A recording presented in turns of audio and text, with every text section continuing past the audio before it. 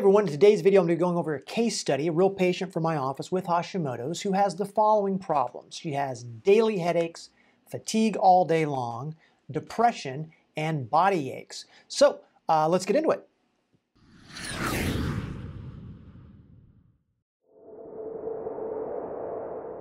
So again, real patient from my office. She has Hashimoto's, and I like to start with looking at the patient's history. So here we go. So as a child, she had a lot of trauma, both psychological, some physical, some sexual abuse. Why do we even care about that? Because trauma and abuse like that, certainly that isn't processed and treated professionally, can be uh, inflammatory, believe it or not. Uh, stress, and this is certainly a stress, is very inflammatory. And if this is something that hasn't been dealt with professionally, then I'm immediately interested in maybe referring this person out to get that help because uh, it's a very big deal. So I'm not a therapist, I don't try to do therapy, but I like to recognize when there's something here that could be treated by someone other than me. Uh, second thing is she took a lot of different antibiotics as a child. Now, why does that matter? Because if you take a lot of antibiotics, that means you may have had a lot of different infections. And I have different videos on this, but a lot of different infections mean you are predisposed and have a higher risk to develop cross reaction. And infections can trigger a lot of different uh, problems, including autoimmune conditions. Now, also, the kind of the GI side of things, when you have a lot of antibiotic treatment, is it can impair your GI uh, gut integrity, and a leaky gut or a hyperleaky gut is inflammatory, can also lead to autoimmune problems. Now, in 1992, she had mono. We care about this because mono, Epstein-Barr, is a known uh, trigger for multiple sclerosis. And, you know, like 80% of us have been exposed to Epstein-Barr. But if you've been exposed to it, and we have other histories of infections, that's kind of getting my mind working in a, a certain way. In 1994, uh, she had sinus surgery, a few years after that, she finally quit drinking milk and she had complete resolution of the sinus problems. I've seen that a, 100,000 times. Uh, in 2012, someone said, hey, you might have Hashimoto's. Now, I don't have the uh, testing. She couldn't remember if she was tested or not. At that time, she was having chronic fatigue and depression, and perhaps she had some sort of abnormality in her thyroid uh, panel, and that's why they said, hey, you might have Hashimoto's.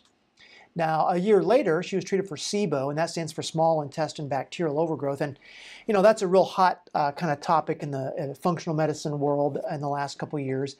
In my experience, most SIBO testing results are pretty borderline. I just presumptively treat people for SIBO if I think they have it. Uh, a couple years after that, uh, she had fibromyalgia symptoms. What does that mean, though, right? That means you have chronic widespread pain, you've got a sleep problem. You know, a lot of people could be uh, diagnosed with that. Uh, fibromyalgia is not really like a, you know, it's like not an endpoint diagnosis, just describing what's happening, right? It doesn't really tell you why it's happening. Uh, she also had depression, chronic fatigue, and some fading eyesight. And then in 2015, she may have had mono again. So again, we had a lot of infections. We had mono, mono again. She had a root canal. I won't talk about that at the moment. But also, all this is happening the same year, right? 2015. She had unexplained hydrocephalus that eventually resolved. Now, she had, to have, had to have a, a, hole drilled in her skull to relieve that. Hydrocephalus is when you get uh, inappropriately or an excessive retention of fluid in the brain. And I've had some people over the years uh, with that. There's a condition called pseudotumor cerebri, which is basically increased intracranial pressure. And bottom line is, most of those people that I've seen with that have either had an inflammatory event cause it or they responded well to an anti-inflammatory treatment.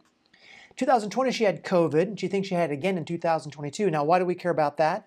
Well, because COVID really messes with your immune system. I've got several different videos on this, but it loves to stimulate autoimmune problems of various kinds.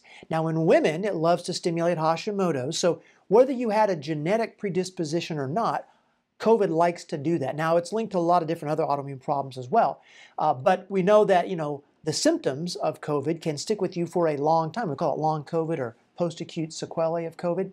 So I'm really becoming interested in whether or not this person has an ongoing inflammatory problem over the years and maybe even made worse since she had COVID. She had hemorrhoids, which is not really, uh, I can explain what that means, but it's not really relevant to today. And again, this year, 2023, Hashimoto's was again advanced as a diagnosis. Now, I don't have lab testing to look at. I don't know if she wasn't really a good historian about that, but she was recommended to take, it, to take levothyroxine. However, when she took it, she felt over-medicated and hyperthyroid and she had palpitations, so she stopped taking it. So my guess is, um, if we had those labs, is that she probably wasn't overtly hypothyroid. She was probably euthyroid. She had the antibodies, And all you have to have is the antibodies to make you feel bad because remember, Hashimoto's is an inflammatory condition and it loves to create problems in lots of other systems. It's like having an octopus sitting on your back with 500 arms, right? It loves to get its tentacles in all different corners of your biochemistry in your body, even if you're euthyroid. But the spectrum of Hashimoto's goes euthyroid, subclinical, and that's when your TSH is a little high, but the T4 isn't low. And then you have overt, where the TSH is high and the T4 is low. Um, someone probably re recommended her to take medication when she really didn't need it, uh, which is why she had the palpitations. It felt like she was over medicated. Now, she is taking, and I bring this up because invariably someone is taking something, it seems like, that they shouldn't be taking. They just didn't know it, right? She's taking melatonin, lemon balm, which is a Th1 cytokine booster, magnesium citrate, not a problem, selenium, not a problem, some a thyroid formula, I'm not going to tell you what it is, uh, but it's got a couple things in it I'm not a fan of. Uh, something called Astra Isatis, which is really a, like echinacea. It's, it's, an immune system booster, Th1 cytokine booster. And the thing is, we don't know if she can take that or not. We don't know what her immunophenotype is. We don't know what her fingerprint is. Maybe she can take it. Maybe she can't take it. We're going to do the test and find out. But there's a good chance, I'm just going to tell you just my experience over 20 years, she's probably taken something she shouldn't. Uh, she also takes Excedrin every day. Uh, which tells you how bad her headaches are. She's got to take Excedrin every single day. Now, she is taking care of an older child uh, who has a TBI, so she's stressed a lot. Stress is inflammatory. Uh, she's also still trying to work 40 hours a week, but she's got to take Excedrin every day because the headaches are so bad. All right, so again, she presents to me kind of a review. She's got Hashimoto's, but again, Hashimoto's is not the end point. Hashimoto's tells me she's got an autoimmune problem probably, uh, and there's a lot of other things we need to look at, but that's not the end point, okay? So she's got headaches. She's got daily headaches, pressure behind the eyes, in the suboccipital area. She has fatigue all day long, which honestly, if someone has fatigue all day long, doesn't get worse certain time of day, that kind of rules out your HPA stuff. Doesn't really rule out uh, iron or these other things that it could be. Uh, she also has depression and uh, she has body aches. Now, depression and fatigue, that can happen if you have neuroinflammation. You've got inflammation inside your central nervous system. Sometimes fatigue is not because you have an iron problem or a B12 problem or a thyroid problem. It's because you have inflammation inside your central nervous system and it tends to slow brain function down. And when that happens, you tend to perceive fatigue, but remains to be seen, okay? Now, here's some pre-treatment labs. Uh, there's other things I could show you, but I'm just going to point out a couple things I thought were really important. So her vitamin D is an 81. That's actually really good for someone with an autoimmune problem. Most people uh, with an autoimmune problem, if they don't take vitamin D, their vitamin D is terrible. That's kind of sort of the uh, kind of the genetic package you get with that. Now, what I do not like at all is the fact that her fibrinogen level is 832. That's almost double the reference range. That is bad. Why is that bad? Because fibrinogen, when it's that high, really predisposes you to clotting. Does that sound like a good idea? No, it sounds like a terrible thing, right? Predisposes you to clots. You could get a clot in your heart, you get a clot in your lung, you could throw a clot uh, into your brain. So this is really concerning to me. Now, what's doubly concerning is her CRP, which is a C-reactive protein. That is kind of a, a general inflammation marker. Hers is seven times the reference range. So remember I said I thought she might be inflamed? Well, yeah, she's definitely inflamed. Even though her vitamin D looks great, she's still got some real inflammatory problems here that are a very bad kind of explosive combination, right? Inflammation plus clotting risk is not good. All right, the other thing that we did uh, is that we did this multiple tissue autoimmune reactivity panel.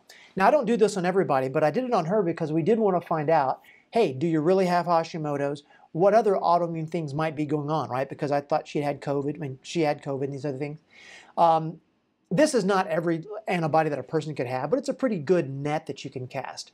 And again, I don't have any kind of financial interest in any of these labs. They don't pay me. I don't get like discounts or anything. It's just what I think are the best tests. So she had ASCA and ANCA antibodies. Now, what those are anti-Saccharomyces cerevisiae antibodies and anti-neutrophil cytoplasmic antibodies. You find these in things like Crohn's and ulcerative colitis and irritable bowel syndrome. And she didn't really have a lot of that, but she did have some GI symptoms that weren't her chief complaints. So this, this may have some relevance. Uh, her cytochrome P450 hepatocyte antibodies were elevated because uh, cytochrome P450 in the hepatocytes, uh, those can elevate, and I think I have a video coming up on this pretty soon, if you eat gluten. Uh, gluten reactivity or gluten sensitivity, gluten antibodies cross-react with liver antibodies, uh, with yeah, with liver, and they can elevate your AST and ALT. Now, her AST and ALT on the blood work were normal. I didn't even show it to you. But we know that her immune system is targeting some things, and this is not good. And these antibodies have predictive power. Another video I'll be coming up with soon. What I mean by that is tissue antibodies can be elevated for years before you get the overt disease associated with it. And if you don't do anything about it, there's a good chance that that's what's actually going to happen. So we'll find out. Now, the last bit that we did on that panel was her thyroglobulin antibodies, which are very elevated for this scale. So yeah, she's got Hashimoto's, but her TSH and her T4 were normal in the labs that we did. So she has euthyroid Hashimoto's, which means she probably doesn't need medication, but she can still feel bad anyway. It's very important uh, to make sure that whoever you're working with understands that. Now, we did this uh, lymphocyte map, which is kind of that immune system fingerprint. And just basically what we see here is that her lymphocytes are up, her immune system is activated, makes sense. And then we start looking at these different sort of little teeter-totters, right? And her T cell, B cell teeter-totter is off because her percent B cells are a little bit up, which throws that T cell, B cell ratio off. And that's a little incongruent with the next name, but nonetheless, her T helper 1, T helper 2 teeter-totter is off. Her T helper 1s uh, are up, so she is what we would call T helper 1 dominant. That's why you see that ratio look like that. Now, it's dominant because her TH1 is too high. Now, remember a minute ago, we talked about the Isatis and the lemon balm. She shouldn't be taking those because that's going to make her further imbalanced, right? All right, um, we do this so that we know what do we need to treat her because you treat this scenario differently therapeutically than you would if it didn't look like this. And that's why everyone's got their own phenotype, even if they've got the diagnosis of Hashimoto's like a thousand other people. They have their own phenotype. Now, we also did uh, a little stool test to try to look a little bit further into her GI stuff. And the thing I'll show you here is this guy here. They see this plus four potential pathogen, then that what PP means. That's a four plus growth on this stuff called Klebsiella pneumoniae, which should not be in her GI tract. All this other NP stuff is non-pathogen. We're not going to worry about that. But a 4 plus potential pathogen, that is, in my experience, something that we need to treat. And so we're going to treat that. Now, here's where the, uh, you know, kind of the magic comes in, so to speak. And I know everyone always gets, I shouldn't, maybe they don't, but some people I know get mad at me because they want me to explain exactly what the treatment was so that they can treat themselves. And I can't do that. It would be irresponsible of me to say, hey, here's exactly how I treated this lady, and knowing that a lot of you people at home are going to say, oh, well, I'm going to I'm going to take whatever he gave her. I'll do whatever diet he gave her because that's not how it works. I did this based on her phenotype and her results and her history, and it would not be smart of you to try to re replicate that. Uh, that's kind of my problem with a lot of uh, like books and courses you can buy on this stuff that are marketed to the public because it's all really, really generic, and you really need to be specific, right? So I can't give you the treatment, but I'm showing you this so that you can see what's possible if you work with someone who has the right training and the right experience. So here's her response after 60 days of treatment. What did her labs do? Okay, now remember, uh, the vitamin D was an 81, that was pretty good, but her fibrinogen was really high and her CRP was really high. So after 60 days of doing the treatment plan that I designed for her, here's what we got. So the fibrinogen, fibrinogen, that's 441. That's normal now. If you do the math on that, that's gone down by 53%. That is great. Now it's still on the high end. I would like it to be lower, but at least it's not, you know, two times what the reference range is. So we're really happy about that, right? Now the other thing we're really happy about, if you look at her CRP, it's 0.8. That's now normal right? It used to be a 7, that's gone down by 99%. So, objectively, do we have a decrease in inflammatory markers? Absolutely. Have we most likely really, uh, practically speaking, decreased the danger of her having a clotting issue? Absolutely. But now, we got to see how she feels because if she doesn't feel any different, we have a problem, right? Now, these are important, don't get me wrong, but she came to me because she felt bad, right? And so we got to really make sure that we're doing something that changes how she feels. So she's really the test. So let's see what she says.